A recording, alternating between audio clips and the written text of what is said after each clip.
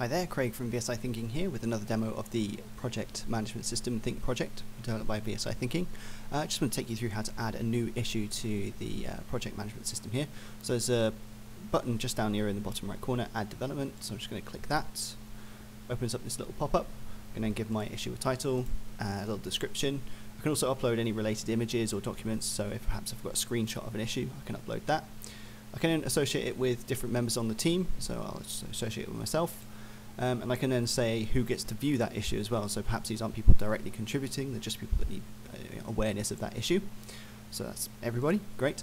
Um, I can then set a priority as well. So perhaps this is priority number one. I can set this as high or perhaps something lower.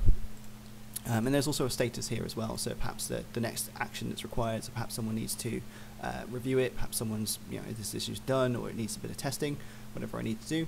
Then when I hit save, an automated issue is then sent out to the users that need it, uh, giving them the brief summary of that issue. So this is just a quick look at how to add an issue onto thinkPROJECT. Uh, keep your eyes peeled on our YouTube channel for more demonstrations.